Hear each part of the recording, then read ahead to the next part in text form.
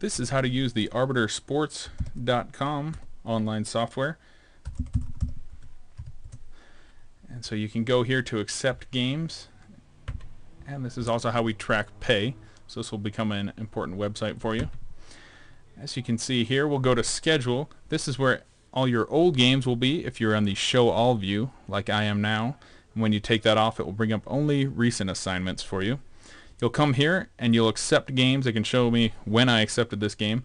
And there'll be an option here, green for accept, red for decline. And you want to accept or decline a game as soon as possible. So your assigners will appreciate that.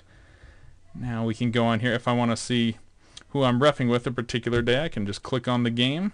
And I'll always make sure to contact them.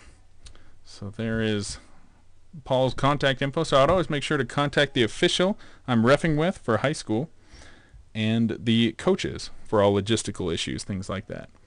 Now you go to payments here. This is the RefPay tab. And so once you create your RefPay account, which we went over in a separate video, you can link it to your account here, and that way games you do here, when you get the green R in the schedule, you are now able to be paid through RefPay. So you can track that here. You want to type in your username and then click Add, and that will link the two counts together accounts together. And then after a game is complete, you'll click here.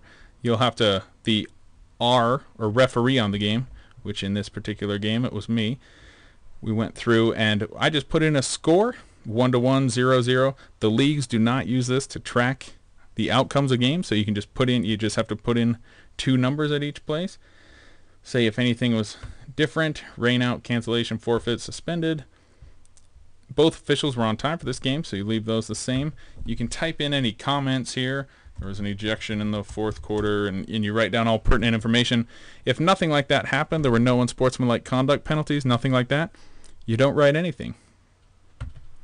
For scheduling, you can go here and you can anticipate some blocks. So this is how I, let's say I'm not available on Sunday the 19th. So I will click on block all day, click on the 19th, and now when Grant goes to assign a game, he will see that I'm unavailable. Let's say it's the same on on Friday the 17th. Let's say I'm available after 5 p.m. So I'll go to block part of the day, click here, 5 p.m. I'll click that, and then now you'll notice a different color, and that will block me for games starting before 5 p.m. And now I can go to lists. This is where all the officials' contact info is. And so you can click on a particular official if you want to know what it has your address. That's used to compute mileage. So you'll want to have that accurate. And it uses your zip code. There's my phone number and email if a partner needed to contact me. And then we'll go up here. The last one is just a profile where you update things like that. So you can update your information here and save.